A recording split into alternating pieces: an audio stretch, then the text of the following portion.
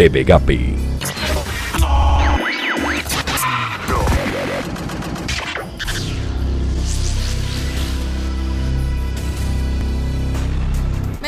Gusto saludarlo hoy lunes 18 de julio del 2011. Yo soy Alvesa Castillo y esto es su noticiero en línea. Vamos a dar inicio con la información.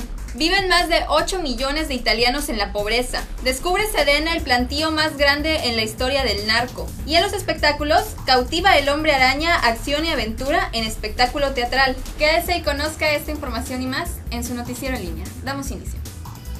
Para iniciar con la información le comento que más de 8 millones de italianos viven en la pobreza y 3 millones se encuentran en pobreza absoluta, según un reporte del Instituto de Estadísticas Nacional. Titulado Pobreza en Italia, el informe citó datos correspondientes a 2010, según los cuales 8.272.000 personas, equivalentes al 13.8% de la población, viven en una situación de pobreza relativa. Para entrar en esa categoría, el ISTAT establece un ingreso máximo para dos personas de 992.4 euros, o sea, 1.400 dólares al mes. Entre más noticias, le comento que el Vaticano, a través de su fundación Populorum Progressio, estudiará la próxima semana el, el, financiamiento a más de 200 proyectos de desarrollo para poblaciones pobres, indígenas y campesinas de América Latina. De acuerdo al Pontificio Consejo Cor Unum, sección vaticana de la cual depende la fundación, obispos latinoamericanos y funcionarios pontificios se reunirán del 19 al 22 de julio próximos en Brasil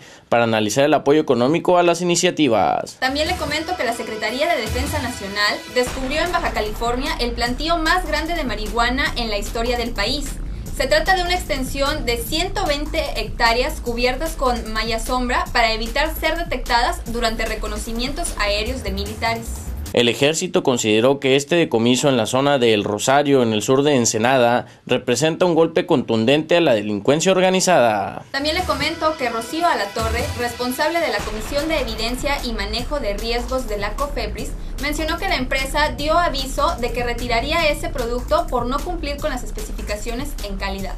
Es decir, explicó, alguno de los ingredientes podría estar alterado por el producto contaminado con alguna bacteria. Sin embargo, la funcionaria aclaró que a partir de este jueves que viene se comenzarán a retirar 400.000 enjuagues bucales que se encuentran en las diferentes tiendas comerciales. Y en los espectáculos le comento que a cinco décadas de su creación, la fascinante historia de Peter Parker y sus super superpoderes sigue conquistando a las nuevas generaciones, ahora a través del espectáculo teatral El Hombre Araña, acción y aventura que se presenta en esta ciudad del 14 al 16 de julio en el Auditorio Nacional. Parece que el tiempo no pasa y las aventuras del arácnido más famoso siguen acaparando la atención, sonrisas y aplausos, sin importar la edad, logrando transportar al público a su incesable lucha por hacer el bien.